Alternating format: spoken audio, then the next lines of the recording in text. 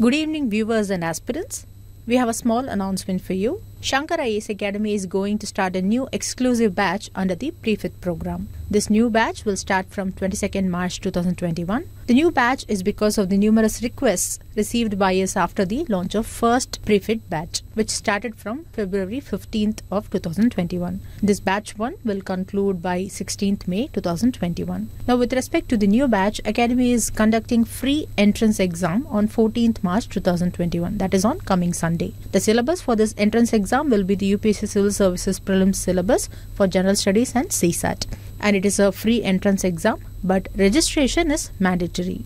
Students who secure top 100 ranks in the entrance exam will be eligible for subsidized fee structure of rupees 800 plus GST per month. For other students, that is for students who find it challenging to come in top 100 ranks and for direct admissions, the fee structure will be 1600 plus GST per month. And there is one important modification in this new batch which is the availability of longer daily test window. That is, in this batch, students can take daily tests in the 4 hour time frame from 7 am to 11 am. Numerous working professionals who are aspirants have requested for such extended window. Therefore, to accommodate varied circumstances of the aspirants in taking daily tests, this extended time window is provided under the new batch. The links for the detailed brochure of this new batch, the plan summary and schedule are available in the description box and in comment section. With this, let us move on to today's Hindu news analysis by Shankar IAS Academy for the date 8th March 2021. These are the list of news articles chosen for today's analysis. It has been provided along with the page numbers of different editions of Hindu newspaper. So now let us start our first discussion with this editorial article. This editorial is about lateral surveillance. So in this discussion, let us understand what is lateral surveillance and what are its advantages and disadvantages as discussed by author. The syllabus that is relevant to this discussion is given here for your reference. First, let us see what is lateral surveillance. So, it is an act of watching over. Here, it should be noted that lateral surveillance differs from the typical surveillance because the power dynamic between the one who is watching and the one who is being watched is structural or hierarchical. But this is not in the case of lateral surveillance because it is more decentralized and balanced. In a lateral surveillance, the surveillance takes place between individuals themselves without the involvement of any organizational entity such as the government. In this regard, you should know about certain initiatives which encouraged lateral surveillance in the past. See, this lateral surveillance originated in the form of uh, neighborhood watch schemes and community policing initiatives in the United States. Here, Neighborhood Watch is a program that unites the law enforcement agencies, private organizations, and individual citizens to reduce crime and to improve local communities. So now what is community policing? It is also known as community police partnership. It is a collaboration between the police and the community and this collaboration identifies and solves community problems. And here in community policing, police is no longer the sole guardian of law and order. Instead, all members of the community become active allies in the effort to enhance the safety and quality of the neighborhood. So here community members are active participants in the process of problem solving. So, in short, we can say that these neighborhood watch schemes and community policing initiatives enabled individuals to become the eyes and ears of the law enforcement agencies. So, along with the advancement of technologies, these neighborhood watch and community policing initiatives have also transformed into an easily accessible mobile applications. And these easily accessible mobile applications are operated by law enforcement agencies or even private entities, and they mobilize citizens to monitor their surroundings, or it also provides provides them with information sharing platforms which enables peer to peer communication or citizen communication. So that means with the help of technology, lateral surveillance has achieved a new height. So in this regard, there are some initiatives around the world that we should know. One such initiative is the Citizen app of USA. This application provides real-time safety alerts and live video incidents happening near the user. Now this app is meant to protect the citizens and the application uses the location data of the user to send users the 911 alerts for crime happening nearby.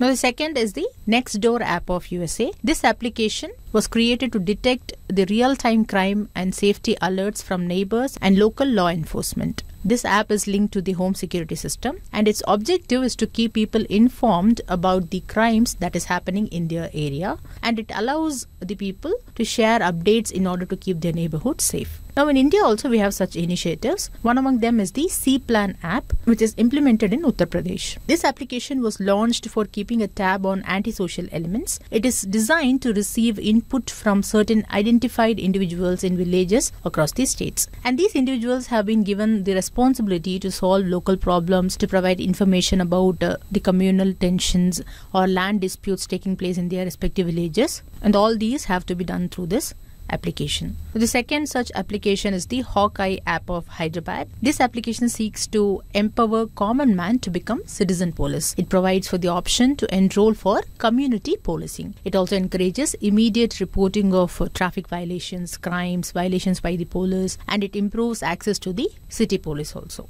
Then similarly, recently the Indian Cyber Crime Coordination Center of Ministry of Home Affairs has also launched a program in this regard, which is the Cyber Crime Volunteers Program. It was launched with the aim to allow citizens to register themselves as cybercrime volunteers and they can register in the role of unlawful content flaggers. And this is to help the law enforcement agencies in identifying and reporting illegal or unlawful online content and the removal of the same content. So, based on these apps which we just now discussed, we can say that all these apps gives us a feeling of continuously being watched. So, what are the benefits of such apps or the benefits of lateral surveillance, which is provided by these apps? See, here you may think that surveillance of any kind is an imbalance of power between the person who is doing the surveillance and the person who is under the surveillance. But here you should note that in lateral surveillance, it specifically ensures that the imbalance of the power no longer exists. This is because the informal watching of communities by their members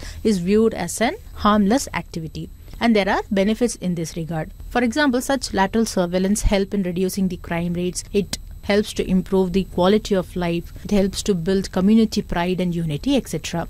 This is because when we are aware of being watched by a member of our own community, then we will be more thoughtful about our behavior in the society. So, the chances of wrongful behavior from our side are very much reduced in this regard. So, this is regarded as the main advantage of lateral surveillance, including the community policing and neighborhood watch schemes. But in this editorial, the author mainly discusses the disadvantages associated with lateral surveillance. So let us see these disadvantages one by one. The first disadvantage is the use of lateral surveillance tools or technology by ordinary citizens for observing and reporting threats in the neighborhood. Here, author criticizes that this normalizes the culture of suspicion. That is, there exists a constant suspicion among the community, and this can create potential social distrust. See, the trust among citizens is based on a mutual understanding about the need to provide security, protection, and the need to respect rights like uh, privacy in a democratic society. But this trust and social cohesion erodes when people start putting aside either privacy or security in favor of the other. See, here we can agree that citizens become more aware of various types of criminal activities in their community. But at the same time, they also sustain the practice of keeping an eye on another. For example, if a neighbor is absent in a community gathering, then this may create curiosity among other members as to why that particular neighbor is absent. And sometimes it may also lead to reporting of suspicious persons to the police. So, this keeping an eye on another is most often an issue. And in this process, citizens are sensitized to security threats, whether there is any actual imminent danger or not. Thus, the suspicion over neighbors creates an air of distrust, and this suspicion is created by the lateral surveillance. Now, the second problem or the second disadvantage is that the surveillance technologies act as tools for social control and social exclusion in shaping the socio-economic relations in the society and also in shaping the relation between the state and its citizens. See here, even though the stated goal of neighborhood watches is the unification of community, there is also an inherent exclusionist intent of community crime prevention. This means the like-minded individuals of the neighborhood decide what qualifies as crime or what is a suspicious activity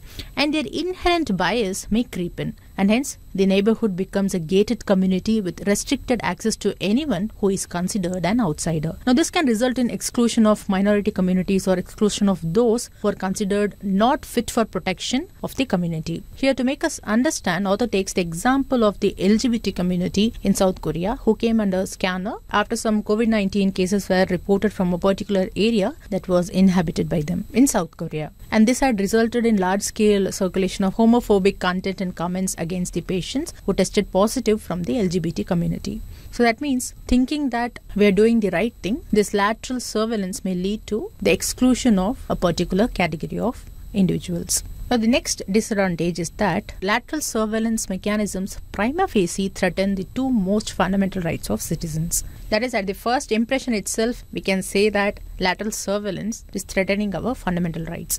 These are the rights of privacy and the freedom of speech and expression. Because from the discussion so far, you can easily say that this keeping an eye on another or keeping an eye on the neighbor is nothing but intrusion of privacy. And this is an intrusion of privacy only if checks and balances are not imposed. Further, it also threatens those who express dissent to such kind of surveillance. And the fourth disadvantage, which is highlighted by the author, is the problem that arises when lateral surveillance becomes organized and state sponsored. It should be noted that state sponsored lateral surveillance can become harmful as it creates a culture of hate, fear, and constant suspicion against an enemy. So here the state can deploy this mechanism anywhere it wishes and it can infringe the fundamental rights of the people. So this ultimately creates a chance of increasing the intolerance, prejudice, xenophobia, and casteism in our society. Here you can take the example of how certain cow vigilantes have resorted to lynching on the context that the cows are being slaughtered.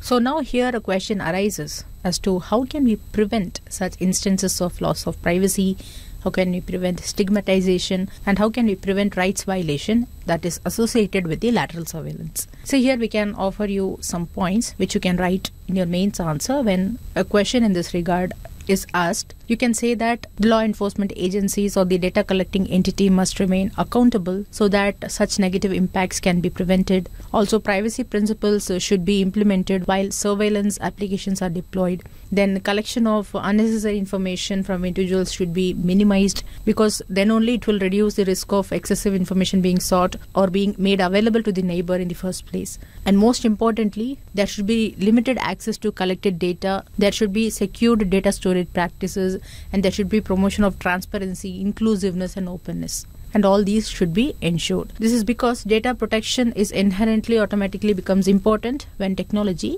is used. So here since the prevention of the risks associated with lateral surveillance is a subjective context, you can even think of your own points substantiating the risks which you list out in an mains answer writing. So, in this discussion, we had a detailed understanding about lateral surveillance and the risks associated with it. With this, let's move on to the next discussion. Now, this discussion is based on this news article, which mentions that China is planning to construct dams on the lower reaches of Yarlung Zangpo River, that is, the Brahmaputra River. So, in this context, let us see about Brahmaputra River and then the news. The syllabus that is relevant to this discussion is given here for your reference. First, know that Brahmaputra River is the main river of the Brahmaputra Valley, and this Brahmaputra Valley has an average width of about 80 kilometers.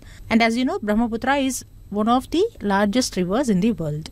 It is ranked at the fifth position with respect to its average water discharge. And this Brahmaputra river is also one of the major Himalayan rivers because it originates in the Chemayungdung Glacier of the Kailash Ranges in Tibet. And it originates east of the Mansarovar Lake at an elevation of 5300 meters. So, first it originates in Tibet, then it flows through Tibet. Then, after that, it enters India through Arunachal Pradesh and then flows through Assam and then it also flows through Bangladesh and finally it reaches the Bay of Bengal. So that means it is clear that most of Brahmaputra's course lies outside India. Especially in Tibet, it flows eastwards parallel to the Himalayas. Then it reaches the Namcha Barwa mountain where it takes a U-turn. As you can see in this map, this U-turn is known as the Great Bend. Here the river emerges from the foothills of uh, Namcha Barwa under the name of Siang or the Hang And then after this Great Bend, Brahmaputra enters India. It enters in Arunachal Pradesh through a gorge and it is joined by other rivers of uh, Dibang, Lohit and many other tributaries which forms the Brahmaputra river in Assam. But is it called Brahmaputra throughout its course? No, it is not. In different countries, it is called by different name. For example, it is known as Yarlung Zangpo or simply Sangpo in the Tibet. And then it is called as uh, Brahmaputra in India, as you know, and then it is called as Jamuna in Bangladesh. So the Brahmaputra sub-basin extends an area of uh, 5,80,000 square kilometers and this lies in the Tibet Autonomous Region of China, Bhutan, India and Bangladesh. And on its each side, it is surrounded by different kinds of hills, such as uh, it is bounded by the Himalayas on the north, then uh, it is bounded by the Patkai range of hills, which runs along the Assam Burma border on the east. Then on the south, it is bounded by the Assam range of hills. And then on the west, again, it is bounded by Himalayas and also the ridge separating it from the Ganga subbasin. Now, particularly note that the subbasin of Brahmaputra river in India lies in the states of Arunachal Pradesh, Assam, Nagaland, Meghalaya, West Bengal, and Sikkim. And these are some of the important tributaries of Brahmaputra river. Please take note of it. So now coming to today's news article, the news is that China has prepared a draft five-year plan for its country. And this plan has given approval for dams that is to be built on the lower reaches of Yarlung Zangpo River, that is the Brahmaputra River. Here what they mean is the dams will be constructed in the lower reaches of the sections of Brahmaputra River which lies in Tibet and the part of the river before it flows into India. So if it is built, then this dam will be the first one on the lower reaches. Now one of the main reasons for this uh, plan of China is the potential held by the Great Bend. According to Chinese sources, a simple 500 kilometer section at the Great Bend itself offers the potential of 70 million kilowatt hours. And further, for implementing this project, China's state owned hydropower company, which is Power China, is said to have signed a strategic cooperation agreement with the Tibet Autonomous Region government. So, is it going to be the first dam built by China on the Yarlung Zangpo River or the Brahmaputra River? No, it is not. In 2015 itself, China operationalized its first hydropower project in Brahmaputra, known as the Zangmu Dam in Tibet. And there are also other important dams under development, which are the Dagu, Jaikshu, and Jaicha. And all these dams are on the upper reaches of the river or in the middle reaches of the river. And because of this, these dams are not of great concern to India. And also because they do not greatly impact the quantity of uh, Brahmaputra's flow in India. This is mainly due to the fact that Brahmaputra is not entirely dependent on the upstream flows, which are mainly in Tibet. And also, we have an estimated 35% of uh, river basin in India itself. But China's new plan to construct dams on the lower reaches and at the Great Bend because Great Bend is also at the uh, lower reaches of Brahmaputra is a matter of concern for India because its location will be across the border from Arunachal Pradesh and also this dam will have potential impact in the downstream of the river affecting the Brahmaputra's flow in India. So let us wait and see how Indian government responds to this plan of China. So these are some of the points that I should take note about Brahmaputra river. Now let's move on to the next discussion. Now this next discussion is based on this data point which talks about internet shutdowns across the world. See what is an internet shutdown? It is an intentional disruption of internet or electronic communications which makes it inaccessible or effectively unusable for a specific population or uh, unusable within a specific location. And this is often done to exert control over the flow of information. So, an internet shutdown happens when someone, uh, here usually it is the government, intentionally disrupts the internet or mobile apps to control what people say or what people do. Now, this data point is actually based on a report titled Keep It On.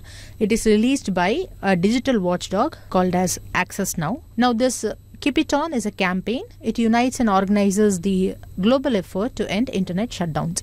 It has so far 243 organizations from 105 countries around the world, and they have documented at least 155 internet shutdown incidents around the world in 29 countries and unfortunately majority of them are from india only now according to this report compared to 2018 and 2019 the internet shutdowns in 2020 are lower as you can see in this uh, representation and even 2021 is also not free from internet shutdowns because in the beginning of the year itself, Uganda ordered internet shutdowns during its presidential election. Then we saw Myanmar's military using shutdowns in a coup attempt, which we have discussed in our analysis last month. Then we have also been hearing internet shutdowns in India during the revocation of special status to J&K, which happened in 2019 and 20, and then also now during the ongoing farmers' protest.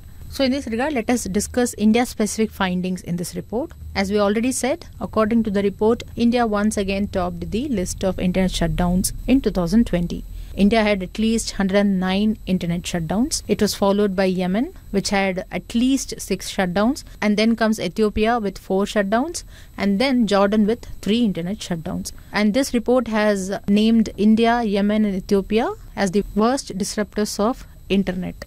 But if you see the first worst, that is India, and the second worst, which is Yemen, there is a huge difference. From this, it is clear that India imposed a lion's share, that is, huge number of internet shutdowns in 2020. And this was the same case in 2018 and 2019 also. This report also particularly highlights uh, internet shutdowns in Jammu and Kashmir that began in August 2019. And it notes that these kinds of shutdowns cuts people off from the internet during conflict when residents are in danger and when they are struggling to stay safe. Along with this, it also expands the digital divide among people belonging to different classes and different income levels. Now, in this regard, you remember that in January 2020, Supreme Court ruled that internet shutdowns interfere with the fundamental right to freedom of expression and the right to life and liberty.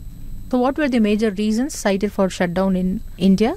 The major reason, as you can see here, is political instability. And there were also other reasons such as uh, communal disharmony. For example, in West Bengal, to end communal disharmony, internet shutdowns were imposed. And then in Rajasthan, to control uh, anti reservation bandh, internet shutdowns were imposed. And this representation gives you an idea about the important causes of internet shutdowns in India and in other countries. So these are some of the important facts that you can use in your mains answer writing regarding restrictions imposed by the government for sharing of information and also in questions where you can talk about internet shutdowns. So these are some of the points that you can take note of. Now let's move on to the next discussion. This discussion is based on this news article which mentions that our prime minister has inaugurated the 7500th Jan Aushadhi Kendra at Shillong. So in this function, he has noted that the Jan Aushadhi scheme has relieved the poor from high medical expenses. In this regard, he has also stated that the poor and middle class families are saving about 3600 crores every year on expensive medicines due to this scheme. And he has also noted that the scheme is becoming the medium of both service and employment in our country. So, in this regard, let us see about this scheme. The scheme we are talking about is the Pradhan Mantri Bharatiya Janaushadhi Pariyojana. Here, uh, Janaushadhi means public medicine. It is a campaign launched by the Department of Pharmaceuticals under the Ministry of Chemicals and Fertilizers in association with the Central Pharma Public Sector Undertaking. This campaign was launched to provide quality medicines at affordable prices to the masses. And this will be provided through dedicated outlets called as Pradhan Mantri Bharatiya Janaushadhi Kendras. So these Janaushadhi Kendras or stores have been set up to provide generic drugs which are available at lesser prices, but they are equivalent in quality and efficacy like the branded drugs which are quite expensive. See here generic drugs means the drugs which are marketed under a non-proprietary name or approved name rather than a proprietary or a brand name. And these are equally effective and also inexpensive compared to the branded medicines. So here note that this Pradhan Mantri Bharatiya Janaushadhi Pariyojana is being implemented by the Bureau of Pharma PSUs of India. In short, BPPI. It has been established under the Department of Pharmaceuticals for coordinating procurement, supply, and marketing of generic drugs through the Pradhan Mantri Bharatiya Janaushadhi Kendras. And this BPPI is an independent society registered under the Societies Registration Act of 1860. So now what are the objectives of this scheme? First, as we saw already, it is to make available the quality medicines, consumables and surgical items at affordable prices for all and thereby reducing the out-of-pocket expenditure of consumers or patients.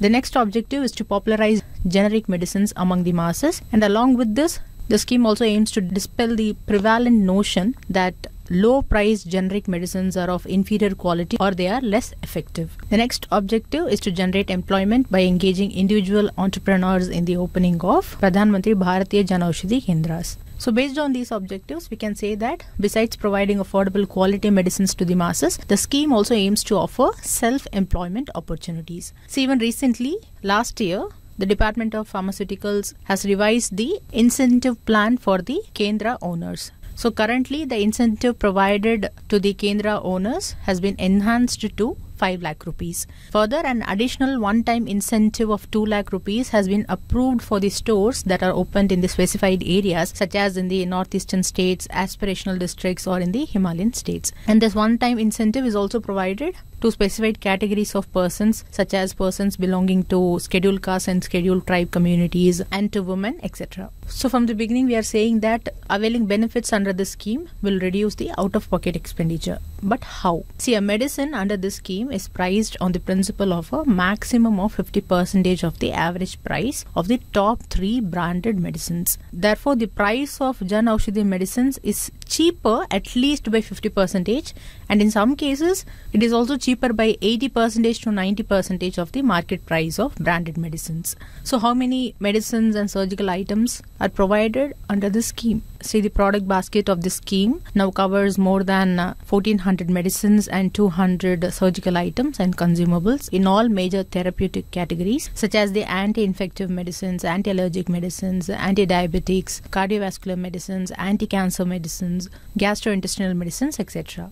But here the government aims to increase this. So the target is set to enhance the product basket to include 2000 medicines and 300 surgical products by the end of 31st March of 2024. This is so that all the essential medicines covering the therapeutic categories are provided at lesser costs. And similarly, the Jan Aushadhi Kendras are to be increased to 10,500 by the end of March 2024. So the government has these important targets under this scheme. And as a part of this only, now the 7,500th Kendra has been inaugurated by the Prime Minister yesterday. So these are some of the points that I should know about this Pradhan Mantri Bharatiya Janaushadhi Pariyojana. Now let's move on to the next discussion. Now this discussion is based on this op-ed article which is written by a former member staff of Railway Board.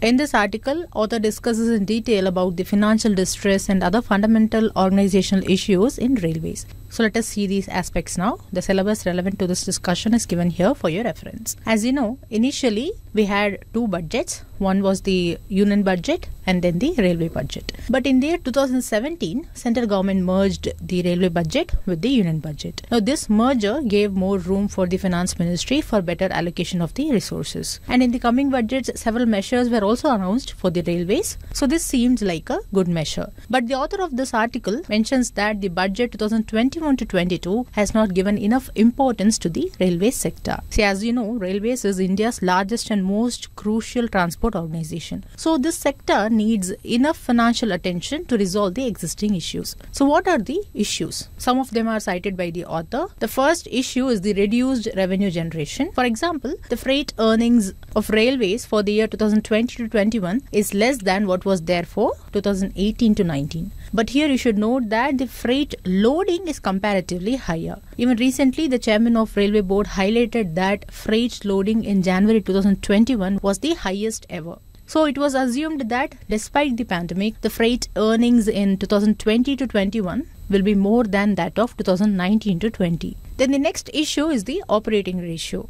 See, broadly, operating ratio represents the ratio of working expenses to revenues. And according to the author, this operating ratio has been artificially kept below 100% for railways. And this was done by making less than required provision for the pension payments during uh, the periods 2019 to 20 and 2020 to 21. Uh, see, the official figures are 98.36% for 2019 to 20, and then uh, the figures are 96.96% for 2020 to 21. That is, this is the official operating ratio. But according to the author, if the required provision is made for pension payments, then the actual operating ratio for 2019 to 20 could be 114 percentage, and for 2020 to 21 it could be 131 percentage. So we can see that this is a much higher difference than the official figures. So, based on this, author notes that for the first time ever, Indian Railways were unable to adequately provide for the pension fund in these two financial years. But anyway, pension has to be paid, so later the Railway Ministry had to take loans to meet this shortfall. But despite these revenue issues, railways were not provided with enough financial resources in the last few years, including the current budget, as we said in the beginning. See here, one issue is not getting enough revenues to meet the expenses. But the next issue is that when the revenues increase for a certain period, along with them, other costs also increase manifold. For example, during the period 2010 to 11 to 2019 to 20, the passenger and freight revenues increased by 84 percentage. But at the same time, staff and pension costs also increased, but they increased by a whopping 157 percentage. Here we can see that the revenues are not enough to meet the costs. So why this high levels of staff and pension costs? This is mainly due to the implementation of the Central Pay Commission's recommendations. Here note that this expenditure is expected to increase further when the 8th Pay Commission's recommendations are announced in 2025 to 26. Here we can conclude that even though there is increase in revenue, meeting the staff and pension costs was always an issue to the railways. So what is the need of the hour? The first need is to give immediate focus on achieving more revenues, especially from the freight.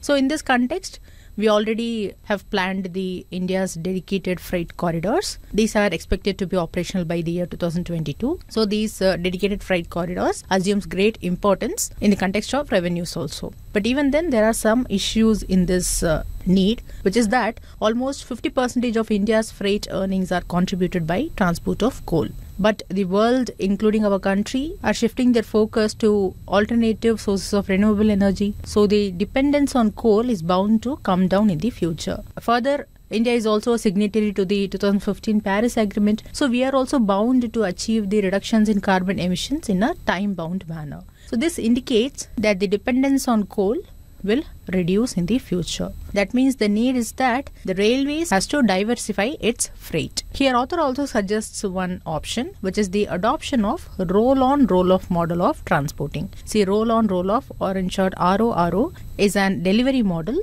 which can provide multimodal transport mix. Now, under this uh, roll on roll off, loaded trucks would be moved on the flat rakes to avoid congestion on the roads, as you can see in these images. So, this model can boost revenues and it can also reduce the overall carbon footprint. Now, the next need is the drastic reduction in employees because we can see that railways has an expanding staff costs, including pension. So, there is a need to reduce employees, and this could be done based on the suggestions like uh, privatization of uh, few units of railways. Then there is also a suggestion of uh, merging all cadres to have a single Indian Railways management cadre, etc. So these suggestions can be implemented, but author has noted that these decisions shall be taken only after much deliberation. Thus, as a conclusion, apart from these suggestions, author also suggests the need for an annual report that is the Indian Railways report.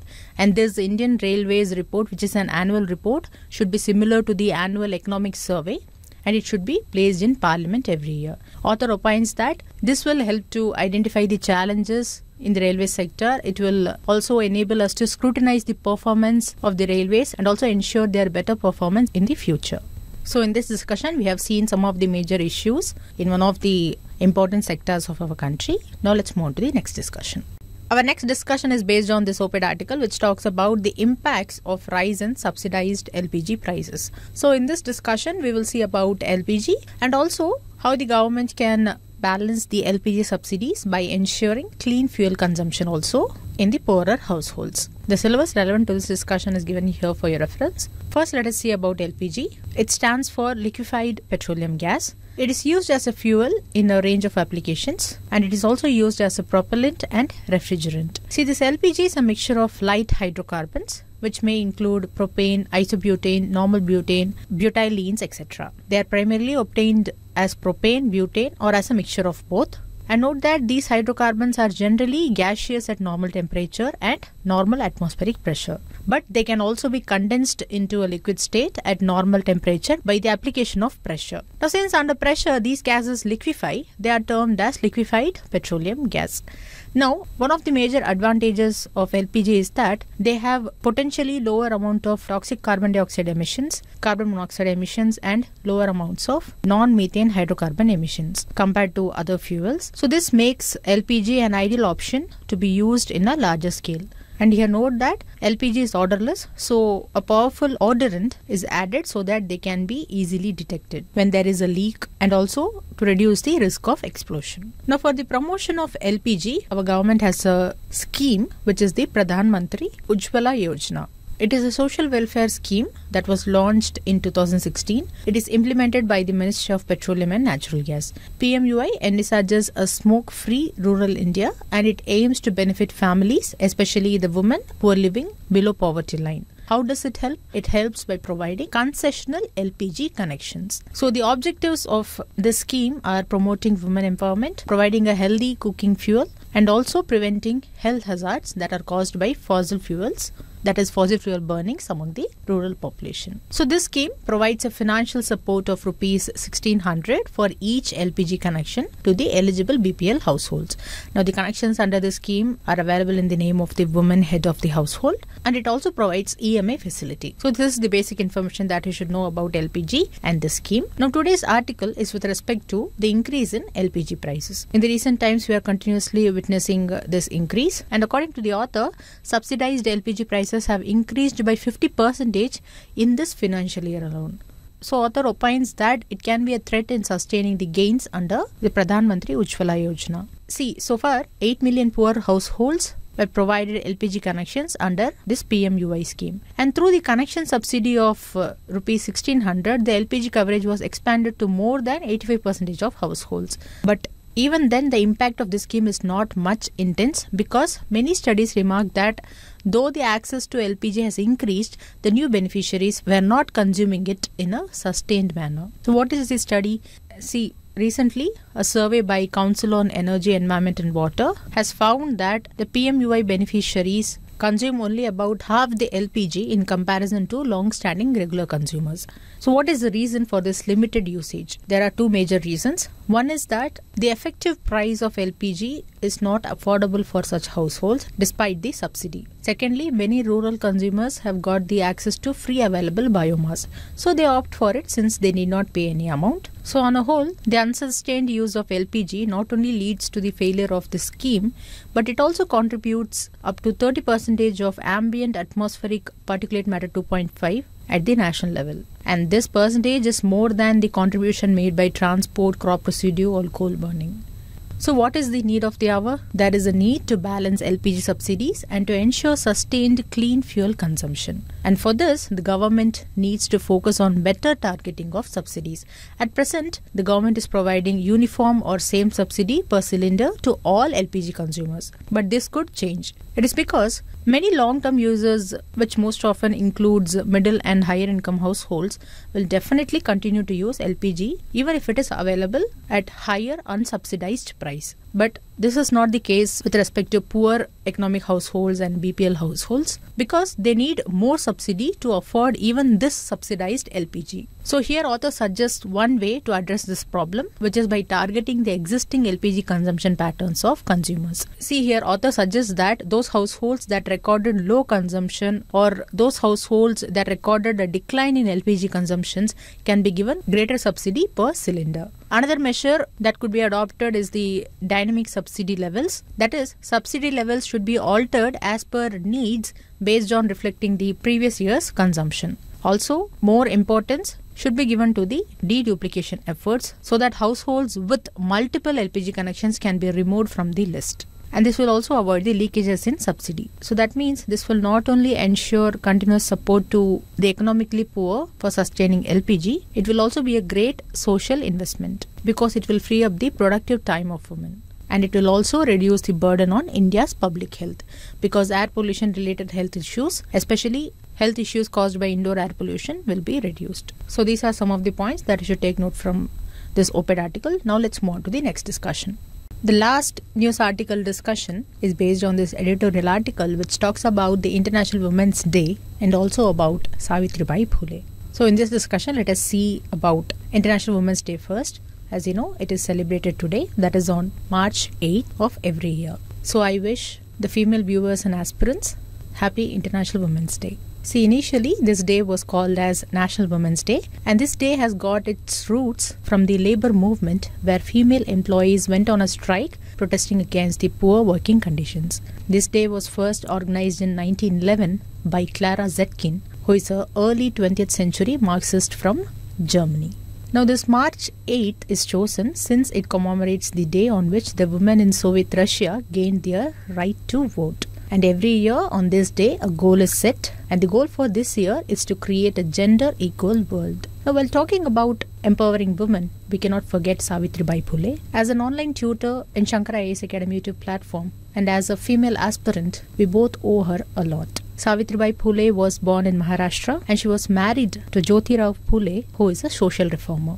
And for around 50 years, that is from 1848 to 1897, Savitribai worked tirelessly for people and succeeded in setting an extraordinary example of service and compassion. She is also known as the colonial India's first woman teacher.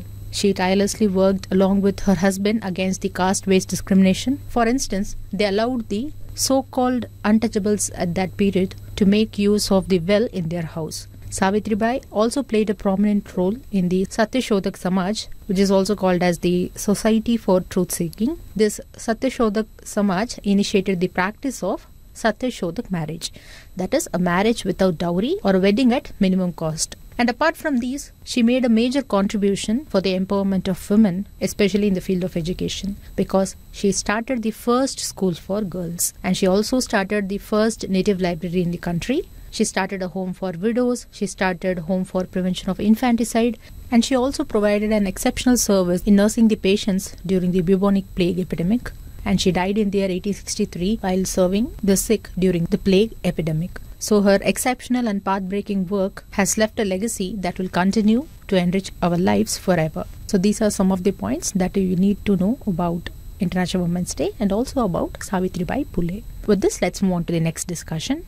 Now we have come to the last session, the practice questions discussion session. Look at this first question. It asks which of the following statements is correct with reference to C Plan app sometimes seen in news. And the correct answer to this question is option B. It is an app developed by Uttar Pradesh government for keeping a tab on antisocial elements. Now look at this next question. It is a pair based question. First pair given is Annie Besant Home Rule Movement. This is a correct pair. Annie Besant is a British social reformer, theosophist, and also an Indian independence leader. She was international president of the Theosophical Society until her death.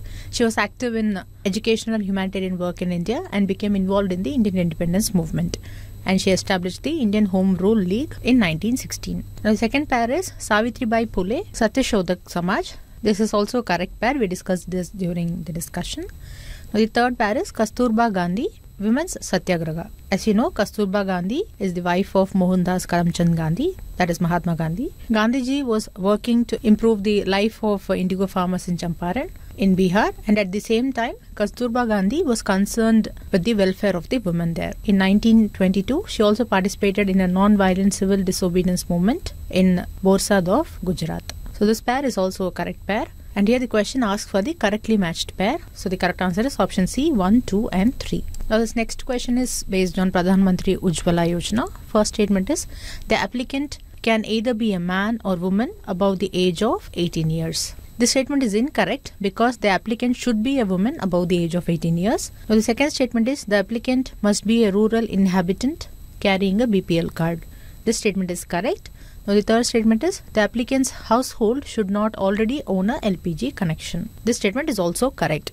And here the question asks for the incorrect statements. So the correct answer is option A, one only. Let us take two mains questions. This question is based on Pradhan Mantri Ujjwala and this is based on lateral surveillance. You have to attend this question according to their word limits. You can write the answer and post it in the comment section. With this, we come to the end of today's Hindu News Analysis and Practice Questions discussion session. If you like the video, don't forget to like, comment and share and do subscribe to Shankar IAS Academy YouTube channel for more updates related to civil service examination preparation. Once again, I wish all the female aspirants and viewers a happy Women's Day.